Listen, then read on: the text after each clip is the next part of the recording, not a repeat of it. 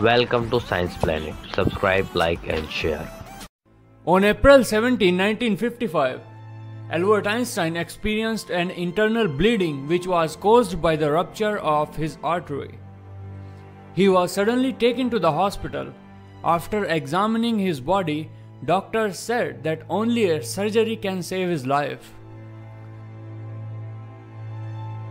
But Albert Einstein denied the surgery by saying that it is tasteless to prolong life artificially. I have done my share, it's time to go, and I will do it elegantly.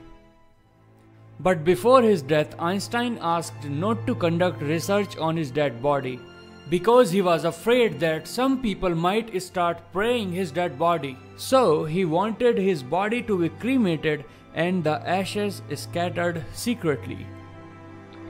On 18th of April 1955, Albert Einstein died in Princeton in a hospital. After his death, a pathologist named Thomas Harvey was called to conduct the autopsy on Albert Einstein. But without even taking the permission from Einstein's family, Harvey stole Einstein's brain and ran away.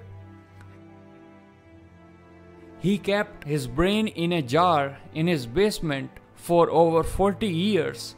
He studied it, took pictures of it, and even dissected some parts of Einstein's brain into small pieces. After 40 years of research, Harvey decided to show up and gave the brain to scientists.